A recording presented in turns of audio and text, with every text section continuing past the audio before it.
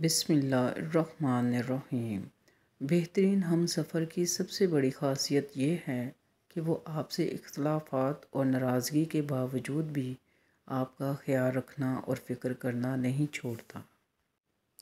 हम सफ़र अगर बिला वजह नाराज़ होने लग जाए तो समझ जाएँ कि वो उदास है। उसे आपकी मोहब्बत की ज़रूरत है। लड़ने की बजाय प्यार और मज़ाक करके मनाना समझदारी की निशानी है। मर्द जिस औरत को दिल में रखता है, उस पर दुनिया की नगाह पड़ना गवारा नहीं करता। मगर जिसको दुनिया से नहीं छुपाता, उसे कभी दिल में नहीं उतारता और यही एक कुलिया औरतों को समझ नहीं आता।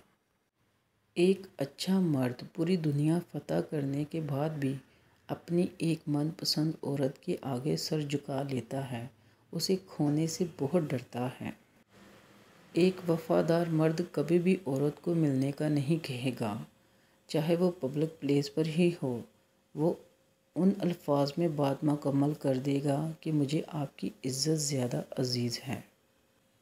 सिर्फ़ खूबसूरत लड़की से शादी करके आप घर में डेकोरेशन पीस तो ला सकते हैं, लेकिन घर बसा नहीं सकते। शरीक हयात का नेक सीरत, दयानतदार बापर्दा हयादार होना लाजमी है।